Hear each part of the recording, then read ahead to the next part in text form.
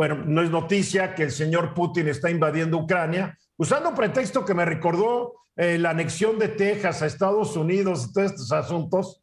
Eh, eh, dos provincias de Ucrania se declararon independientes hace muchos años y el señor Putin pues la reconoce y envía tropas para ayudarlos a mantener la paz. Eso ya es una invasión a Ucrania. así fue más o menos la, la anexión de Texas a Estados Unidos hace ya muchos años. Todas las potencias imperiales usan las mismas estrategias. El hecho es de que Rusia produce muchísimo gas, Rusia produce muchos materiales que el mundo necesita y aunque hay que no niega, va a haber consecuencias económicas para el mundo, México incluido, por las sanciones que se le están aplicando a Rusia, tanto por Estados Unidos, Canadá y los países europeos, a pesar de que el señor Putin hoy haya amenazado que le va a aplicar sanciones todavía más fuertes a Estados Unidos, que no me imagino cuáles pudieran ser. A ver, Luis Miguel, ¿en qué repercute esto? Eh, creo que haces una muy buena introducción al tema y es Rusia y Ucrania juntos son productores muy relevantes de materias primas que son de importancia mundial.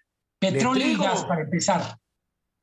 Eh, después de Arabia Saudita y Estados Unidos, el mayor productor de petróleo en el mundo es Rusia. Con gas natural, 40% del gas que consume Europa es de, va de, de Rusia hacia Europa atravesando un gasoducto que pasa por Ucrania.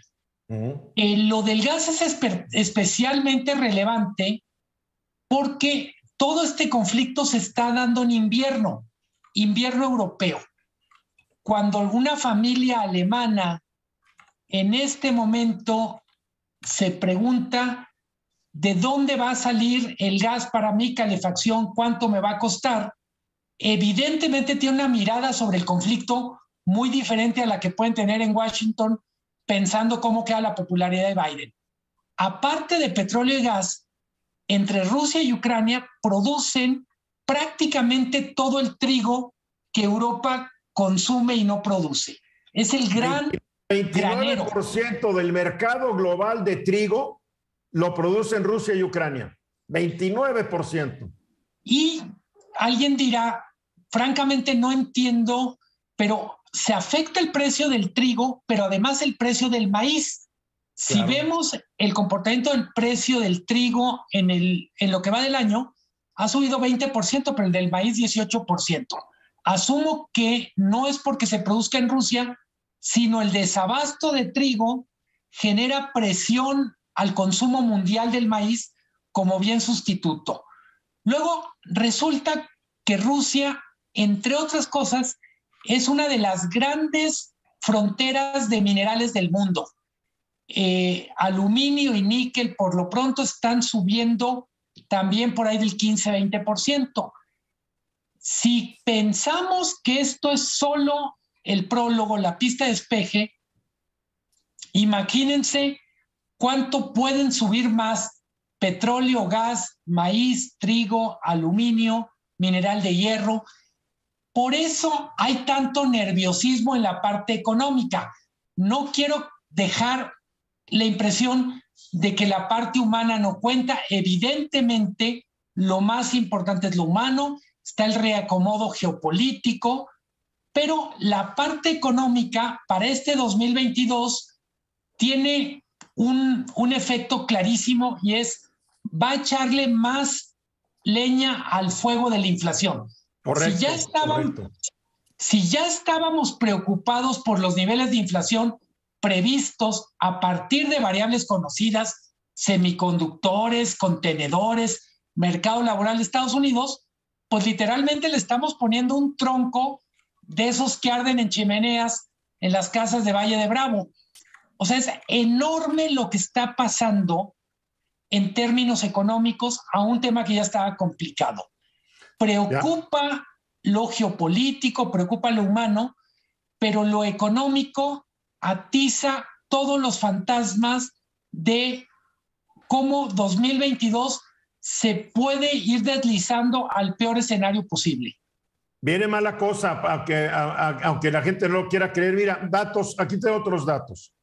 46% de las exportaciones globales de paladio vienen de Rusia. ¿Qué es el paladio? Pues un metal que se usa en joyería, hacer relojes, las tiritas que usas para medir el azúcar en la sangre, eh, las bujías de aviones, instrumentos quirúrgicos, contactos eléctricos. O sea, tiene unos usos impresionantes.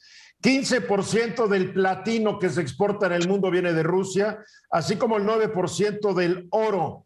Y como tú ya lo dijiste, el, trigo, el petróleo, el gas, el níquel. O sea, es un gran exportador de materias primas. Y obviamente esto va a subir los precios de todo. Si bien enfrentamos un año difícil en México, porque también se, se recién se anunció que la inflación va a ser más alta de la que muchos esperaban, porque se están revisando y revisando constantemente al alza la inflación y a la baja el, crecimiento de la economía, pues esto es otro golpe. Totalmente. Hay un. Perdón. Yo, creo que vivimos un pésimo momento porque además de que se han ido acumulando diferentes presiones para que el crecimiento en México no se den las condiciones esperadas por parte del gobierno federal, pues se suma este conflicto, que no solamente va a tener estas repercusiones directas, va a tener muchas indirectas, porque recordemos que todo está conectado y se da una especie de efecto dominó de diferentes formas en un momento donde no terminamos de reactivar la producción o de coordinar la reactivación de la producción internacional. Así que creo que vienen momentos muy complicados y que nos van a pegar directamente a nuestro país. De a nuestros bolsillos. Totalmente. César. Creo que esto además viene a agravar la situación entre China y los Estados Unidos, que vamos a presenciar un reacomodo de fuerzas dentro de la Unión Europea, de hacia Macron, de hacia Alemania, sobre todo en una perspectiva de una generación de más escenarios de conflicto. Tenemos el norte de India respecto de China, tenemos varios conflictos que pueden eh, pensarse mucho más. Yo estoy pensando que estamos como en una especie de, de repunte de aquella época de la Guerra Fría sin los grandes controles que antes teníamos. No entiendo por qué sin los grandes, ¿qué, qué controles hubo antes? Teníamos los dos, la, la, polarización, los dos, los dos ejes polares, y en este momento tenemos una integración de fuerzas importante. Pero sí tenemos una polarización de alguna manera. Los regímenes totalitarios de Rusia y China contra los regímenes democráticos de Europa y América del Norte. No incluyo a México ahí. No.